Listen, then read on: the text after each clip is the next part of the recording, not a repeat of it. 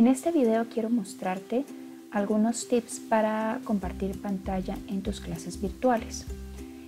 Este es el botón de compartir pantalla, ya lo conoces. Si le das clic aquí, tienes varias opciones. Aquí puedes escoger si solo un participante puede compartir a la vez o si quieres que múltiples participantes puedan compartir su pantalla. En opciones avanzadas encontramos estas que puedes ver acá, que es la misma que vimos anteriormente, si solo un participante puede compartir o si muchos pueden participar al mismo tiempo compartiendo sus pantallas. Y esta otra opción, ¿quién puede compartir? Si únicamente el anfitrión o todos los participantes.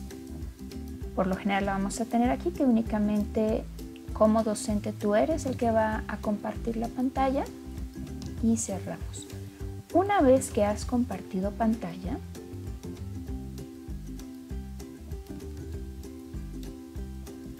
aquí yo estoy compartiendo ya mi pantalla, puede suceder que los niños empiecen a dibujar sobre lo que estás compartiendo. Entonces, ¿qué es lo que tienes que hacer? Vienes aquí a la opción de seguridad.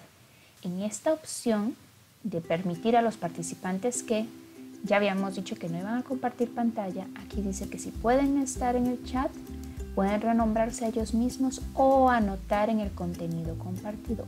Esta es la que tienes que deshabilitar para que ellos no puedan anotar sobre tu pantalla. Entonces las anotaciones únicamente las vas a poder hacer tú, que eres quien está compartiendo. Espero que te haya servido esta información. Te invito a que te suscribas y actives la campanita. Gracias.